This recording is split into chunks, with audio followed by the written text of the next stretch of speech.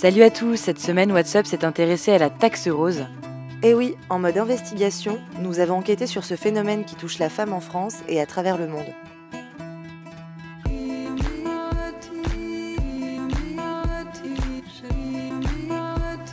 Taxe rose est un terme utilisé généralement pour dénoncer le fait que des produits destinés spécifiquement aux femmes soient vendus plus cher que les produits équivalents destinés aux hommes.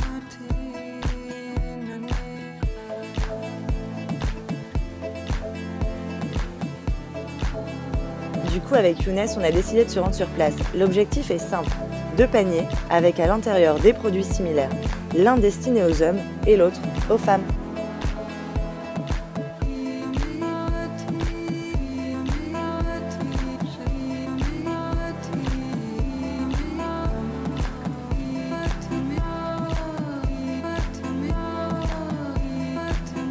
Les courses terminées, le résultat est sans appel. Nous avons deux paniers identiques. Dans l'un, 5 produits hygiéniques féminins, dans l'autre, son équivalence au masculin. Au final, Younes débourse 19,36€ et Anissa 29,14€. Révolté, on a décidé de contacter une association lilloise, Oser le féminisme. Et c'est Lucille, membre depuis 3 ans, qui a eu la gentillesse de répondre à nos questions. Bien, de la vie, parce qu'on est une femme, nous, au sein de l'association, on défend cette cause sur, parmi tant d'autres. Nous, on stoppe les produits plus chers pour les femmes, parce que c'est pas aberrant qu'on soit en 2016 et que les mœurs toujours pas évolué. on a remarqué qu'on est encore dans une société très sexiste et que les hommes, évidemment, ils n'ont pas leurs règles, donc ils ne sont pas dans même cas que nous. Et dans on prône vachement la gratuité de l'usage des tampons et des serviettes, parce qu'il faut savoir que dans le monde entier, toutes les femmes n'ont pas accès aux tampons et aux serviettes. Et qu'en 2016, on en est encore là, on trouve ça tout simplement inacceptable.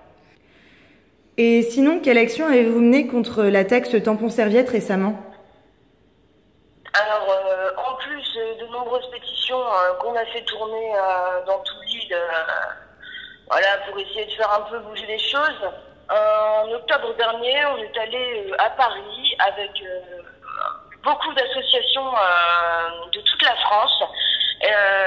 nous sommes allés coller des serviettes, des serviettes ensanglantées tout autour du, gouvernement. Donc, on était, c'était vraiment une action qui a été très, on a fait parler de nous dans les médias et rien que pour ça, on était, on était ravis, quoi.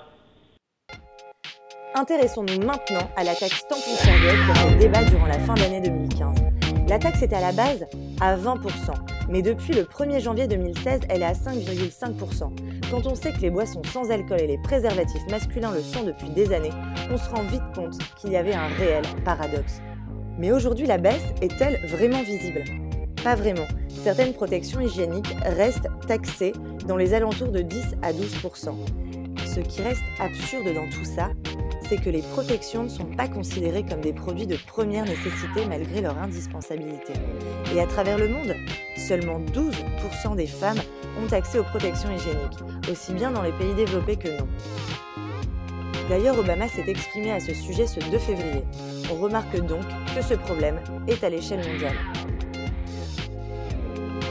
Une femme dépense tout de même dans sa vie 23 500 euros Aujourd'hui, les taxes ne sont toujours pas supprimées. Mais alors pourquoi les protections hygiéniques, censées être indispensables pour la femme, sont-elles encore considérées comme produits de luxe?